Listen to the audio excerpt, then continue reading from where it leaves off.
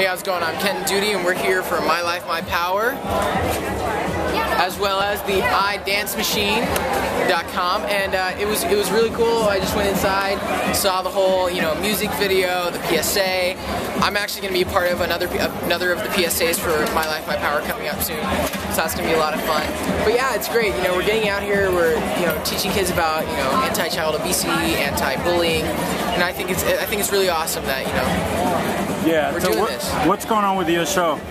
On my show, ah man, Gunther's coming into himself as a man. We've uh, added a little sexiness to him. Okay. Uh, you know, I'm now the tallest guy, so therefore Gunther has to be, you know, a man now, right? So that's that's sort of a cool thing that we're doing in the show. Are you like the the, uh, the man around, you know, the whole show, or there's someone else trying to take your spot? I don't know. I haven't been there in a little bit. Uh, all right, actually, the choreographer for I Dance is our assistant choreographer on our show. Okay. So uh, I, she hasn't even been there for a while too because she was doing this little tour. But uh, yeah, don't know what's going on. But uh, if when when I do go back, I'm gonna need to make sure the reins are still in check for me to come back in as a man. Okay, so are you being compared to any young guys like Justin Bieber, Zac Efron, or, you know, are you like the next biggest thing? I've gotten Justin Bieber, oddly enough. Yeah, let, us see that hair. Let, Yeah, the hair is different, the uh, size and height. Because I'll be standing with someone, and it's funny, it's usually someone with Disney, and I'll be wearing something purple. Okay. And people driving by, you'll hear like a girl scream, Hey, Justin Bieber! yeah. And then you're like, hello, I can't. Yeah, I'm, I cannot- can't whip it, Yeah. and I'm, you know, six foot one. yeah. I, you know, I'm from Texas. I'm from the opposite side of, you know, the states. He's from up here, and I'm all the way down here. You're He's in from- Canada. Yeah. So I'm from Texas. So, yeah, Speaking of Texas, Texas. what's going on with Tony Romo and the Cowboys? Just Don't get me started, man. Oh, Oh, yeah, give me something. Uh, What, you are we gonna like- do? I, I mean, you see like all these, we'll see passes where it's just like, what were you thinking, man? Yeah. And. I don't, I've never actually played football competitively, but Yeah. I've got my dad who was a quarterback, so it's like, why didn't he just call a run? I mean, like, because you can see when the defense is setting up and they go off, you know, as the offense, and the defense is just sitting there. They're like waiting, Yeah, you, and you so you obviously know what they're going to do. So why aren't you playing towards that? You you just you're playing for them basically. yeah. You throw a pass to them and it's an intercept. What were you thinking? Like the same way they lost to Detroit. They were up by 20, what, 23, Yes, yeah, 24 uh-huh. points? Yep. And he started throwing deeper, and every time he does it, they steal the ball. Yeah. It's an interception. Boom, touchdown. Yeah, I mean, you think you learn? Let's try and run it a little bit. Get, Yeah. Just get some. Just get the yardage. Yeah. Well, I mean, with all the success going on right now, I mean, Detroit, they're really winning. They're doing really good. The Raiders Really are doing great. Uh, the Colts, I don't know what happened. I, I don't know. I don't know about You know, you think they can have a comeback and maybe make the You playoffs? know, uh, we can we can always see, hope because they, they always play a good game. Okay.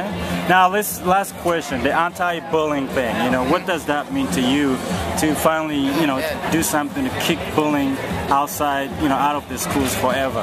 You know, kicking bullying to the curb, so to speak, is, is definitely a big it has it has a big impact on kids. And a lot of times you find the bully doesn't have a good home life, like divorced parents, for instance, sometimes, because the parents will then end up, like I've noticed, will become distant. 'Cause I have friends with divorced parents, and you know, one of them is usually very distant from the child, and that can have a huge impact on them, or it can, or it cannot. But it's always, you know, if their friends are, you know, helping them through it, because I've, I've helped a lot of my friends through it. I, uh, my, actually, my grandparents are divorced, so you know, I, my dad, my dad has, you know, helped me to help my friends get through a divorce, a divorce situation. But you know, you got, I, I understand the parents, you know, they have to go their separate ways just because it's not working and it's making it worse on the kid anyway. But they need to st- make sure that both of them are still giving them the uh, love and, Yeah. and respect and disciplining them when it's right, you know. But a lot of the kids end up bullying other kids or getting bullied themselves because suddenly they're the outcast and it, Or you're better looking than them, or you are taller than them. Yeah, yeah, that's a big thing. Like, you, you know, a lot of uh, kids are, you know, like, oh, those they're too good looking. Let's put them in their place. Oh, they're too smart. Let's put them in their place. Yeah. Oh, they're too good at sports. Let's put them in their place. It's like, well, that's what God was made them to do. You know? Yeah. That's what He put in their lives to do. So like for me, it's singing, and now it's dancing, and but acting was another of my. I mean, so. I that's that's what I'm I'm here to do. And but another thing is for me is to get out there and show kids that you need to have a confidence in yourself. Because when you exude Thank you. That that's what exactly what I was looking for. when, when you exude confidence, like I've I've never I've always been a confident kid because my, I've been raised that way. Like Yeah. you are you, and that's who you are, and that's all you can be. And so I've always just exuded that person that person on my own. So I'll actually be hanging with friends. You'll find I'll know like half of the people in the room, Yeah. but it's just because I want to make a difference in their life, just to be nice. and I'll, so I'll, I'll say hi to people and hey, how's it going? And Yeah. so you get to talking and you get to know them and you become acquaintances.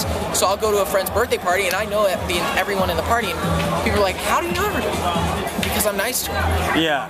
And that's a big thing that not a lot of people are. And I'm, that's Hey, you're the man. You know, you know? change one soul all the time. You know. exactly one. Uh, are you on Twitter? Can the Yeah, kids- J. Duty. K E you spell it out? J D U T Y. That's your Twitter. Yes, and you on Facebook as well? I have Kenton Duty's page on Twitter or on Oh, Facebook. thank you. Yeah. All right, thank you, man. Thank you, man. All right.